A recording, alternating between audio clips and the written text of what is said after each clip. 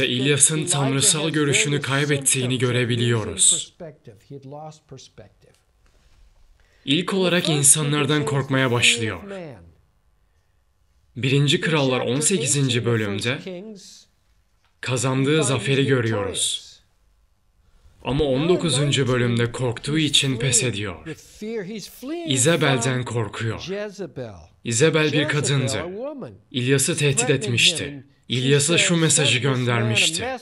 Yarın bu saate kadar senin peygamberlere yaptığını ben de sana yapmazsam, ilahlar bana aynısını, hatta daha kötüsünü yapsın. Öfkelendiği için İlyas'ın peşine düşmüştü. Üçüncü ayette diyor ki, İlyas can korkusuyla Berşeva'ya kaçtı. Bu kadın da İzabel'den korktuğu için kaçtı. Bu kadın kötülüğün ta kendisiydi. Kimsenin kendi kızına bu ismi vereceğini zannetmiyorum. Çünkü bu isim kötülüğü temsil ediyor. İnsanlardan korktuğu için kaçtı. Can korkusu görüşümüzü kaybetmemize sebep oluyor. İnsanlardan korkmak tanrısal görüşü kaybetmeye sebep oluyor.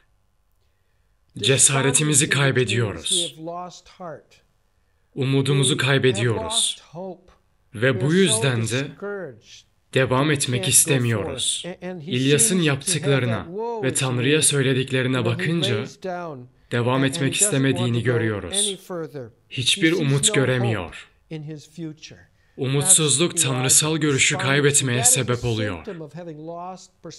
Şunu söylemeliyim ki ben de defalarca umudumu kaybettim. Birlikte çalıştığım bazı insanlar cesaretimi kırdılar. Çünkü sadık değillerdi.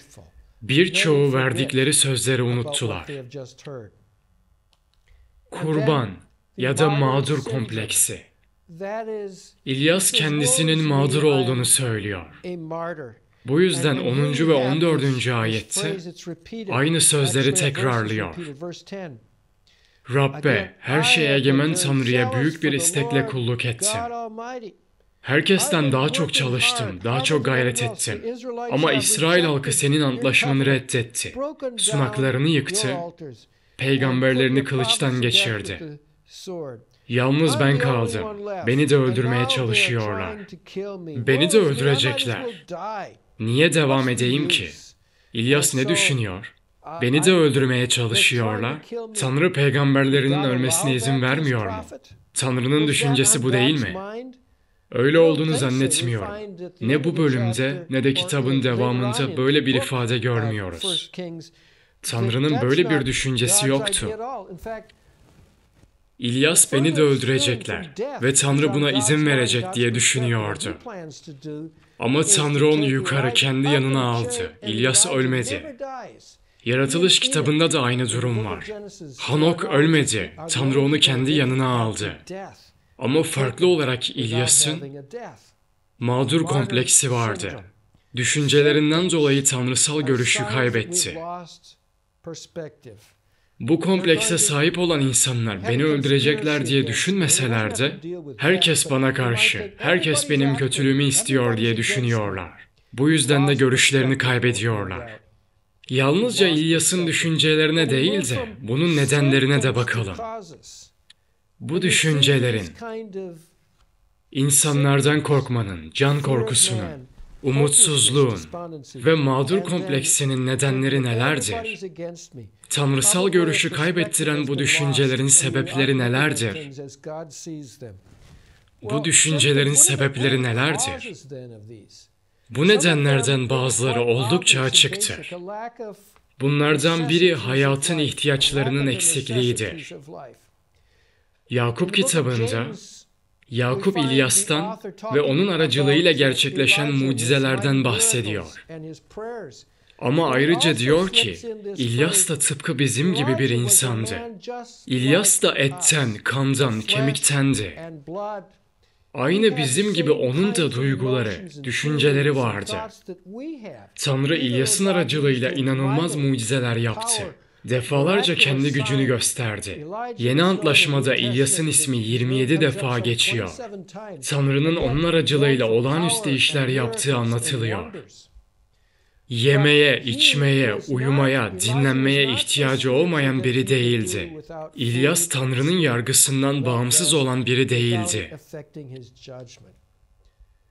Hiç şöyle söyleyen birini gördünüz mü? Ben o kadar ruhsal bir insanım ki hiçbir bedensel ihtiyacım yok. Uyumaya, yemek yemeye ihtiyacım yok. Hiçbir insana, hiçbir arkadaşa ihtiyacım yok. Tanrı'ya o kadar yakınım ki bu dünyaya ait olan hiçbir şeye ihtiyacım yok. Eğer İlyas'ın bile bunlara ihtiyacı varsa herkesin vardır. İsa'nın bile bu hayatın temel ihtiyaçlarına ihtiyacı vardı. Belki de bu düşüncelere sahip olmanızın sebebi temel ihtiyaçlarınızı reddetmenizdir. Yeniden uyku örneğini verelim. Diyelim ki bir öğrenci sınava hazırlanıyor ve bunu yaparken de ihtiyaçlarını göz ardı ediyor. O kadar yorgun ve bitkin olacak ki umutsuzluğa kapılacak. Neden bu kadar uğraşıyorum ki diye düşünecek. Belki yemek yemeyi göz ardı edecek. Zayıf düşünce de görüşünü kaybedecek. Bazen tanrısal görüşümüzü çok basit sebeplerden dolayı kaybediyoruz. Bedensel ihtiyaçlarımıza önem vermediğimiz için, düzgün beslenmediğimiz, dinlenmediğimiz için. Bu metinde İlyas'a temel ihtiyaçları verildi. Rabbin meleği ona yemek verdi ve uyumasına izin verildi. Yaşamın ihtiyaçlarının eksikliği, tanrısal görüşümüzü kaybetmemize sebep olabilir. Ama sonra odağı Tanrı'dan kendisine geçtiği için olabilir. Bu bir öncekine benziyor. Yaşamsal ihtiyaçlarımız giderilmediği için kendimize odaklanmaya başlıyorduk. Ama bu iki bölüme bakarsanız farkı anlayabilirsiniz. İlyas 1. Krallar 18. bölümde Tanrı'ya, onun işlerine, onun gücüne odaklanmıştı. İlyas 18. bölümde hep Rab'den bahsederken 19. bölümde yalnızca kendisinden bahsetmeye başlıyor.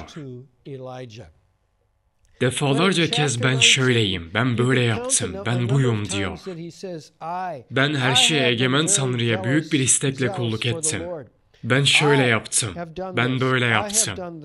Ya Rab yeter artık. Canımı al, ben atalarımdan daha iyi değilim. Tekrar ve tekrar yalnızca kendisinden bahsediyor. Yalnızca kendisini açıklıyor. Kendi ihtiyaçlarımızdan bahsetmeye başladığımızda, kendi yaptıklarımızdan, kendi duygularımızdan bahsetmeye başladığımızda tanrısal görüşü kaybediyoruz. Her şeye egemen olan Tanrı bize acısın diye uğraşıyoruz. Belki de duygu sömürüsü yapıyoruz. Bu hepimiz için bir uyarıdır. Tanrı bizleri kendi işleri için, kendi planları için olağanüstü bir şekilde kullanmış olabilir.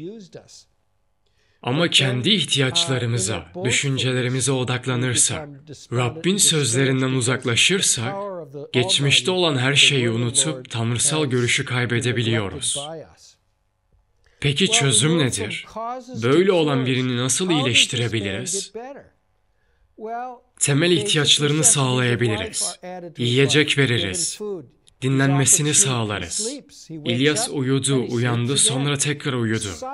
Sakinlik, sakinlik çok önemlidir. Bazen kalabalıktan dolayı yoruluruz. İnsanlardan dolayı umudumuzu kaybederiz. İsa da öyle yapıyordu. Bazen öğrencilerinden, kalabalıktan uzaklaşıp dua edebileceği, dinlenebileceği sakin bir yere gidiyordu. Orada Tanrı ile zaman geçiriyordu. Sakinlik, sessizlik önemlidir. Her zaman insanlarla bir arada olamayız. Çok kalabalık, çok büyük bir şehirde bile dinlenebilecek zaman bulabilirsiniz. Sessiz bir yere geçip dua edebilirsiniz. Sakinliğe ihtiyacımız var. Tanrı İlyas'ı insanlardan uzaklaştırdı. Sakin, kayalık bir yere getirdi. İnsanlara ihtiyacımız var. Ama onlardan uzaklaşmaya da ihtiyacımız var. TV streamleri Tanrı'nın krallığına yatırım yapmak için harika bir yoldur. Lütfen bu etkili eğitim ve sosyal yardım hizmetini desteklemek için bugün bağış yapmayı düşünün. Sizin lütufkar bağışlarınızla varız. TVS projesinin devamlılığını ve büyümesini desteklemek için lütfen bağış yapın. Daha fazla bilgi için tvsseminary.com'u ziyaret edin. Ve Rabbin sözü çok önemlidir. Rabbin sözü bizim düşüncelerimizi, görüşümüzü yeniler. Rabbin gözünden görebilmemizi sağlar. Rabbin sözü bizi teselli eder. Bu bölümde neler olduğunu hatırlayalım. Bir deprem oldu ama Rab depremin içinde değildi. Rüzgarın içinde değildi. Depremden sonra bir ateş çıktı ama Rab ateşin içinde de değildi. Ateşten sonra ince, yumuşak bir ses duyuldu. Rabbin sözünün birçok karakteri vardır. Rabbin sözlerine bakarsak, Rab bu olayları, bu mucizeleri daha önce de yapmıştı. Bunları bizim hayatımızda da yapmış olabilir. Mucizeler aracılığıyla dikkatimizi çekiyor. Hatırlayın Rab Musa'nın dikkatini yanan bir çalıyla çekmişti. Buradaki olayların hepsi, deprem, rüzgar, ateş, bunlar korkunç. Ama Tanrı burada İlyas'a ince, yumuşak bir sesle seslendi. Tanrı'nın sesini duyabilecek kadar sessizleşiyor muyuz? Tanrı'nın sesini duyabilmek için kutsal kitabı okuyor muyuz? Burada İlyas için yazılanlar, Elişa için yazılanlar, peygamberler için yazılanlar, yalnızca onların hayatları için değildi. Bu sözler bizim için yazıldılar. Bu sözleri okumak için vakit ayırıyor muyuz? Tanrı'nın sesini duyabilecek kadar sessizleşiyor muyuz? Kutsal kitabı Tanrı'nın sesini duyana kadar okuyor muyuz? Ve Rabbin ne dediğini her zaman anlayamayabiliriz. Onun tesellisini her zaman anlayamayabiliriz. Ama Tanrı ona ayırdığımız zaman da bu sessizliği bozuyor ve bizimle konuşuyor. Tanrı bizimle konuşarak düşüncelerimizi, yüreğimizi, hayatımızı değiştiriyor. Ve Rabbin sözü bizi başka bir yöne yönlendiriyor. Rab 15. ayette İlyas'a dedi ki, Rab geldiğin yoldan geri dön, Şam yakınındaki kırlara git dedi. Oraya vardığında Hazaeli Aram kralı olarak, Nimşi oğlu Yehu'yu İsrail kralı olarak, Avel Mehola'lı Şafat'ın oğlu Elişa'yı da kendi yerine peygamber olarak mesedeceksin. Avel Mehola'lı Şafat'ın oğlu Elişa'yı da kendi yerine peygamber olarak mesedeceksin. Tanrı İlyas'ın bu sözlerinden sonra onun yerine Elişa'yı atadı.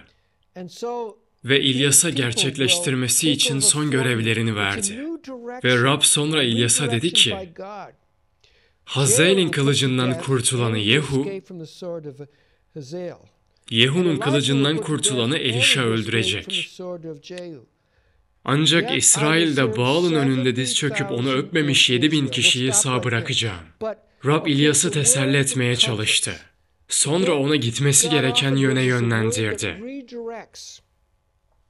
Eğer kutsal kitaba bakarsanız Tanrı, insanlara her şeyin onlarla ilgili olmadığını, onlardan sonra gelecek olan kişiyle Rabbin egemenliğinin devam edeceğini gösteriyor.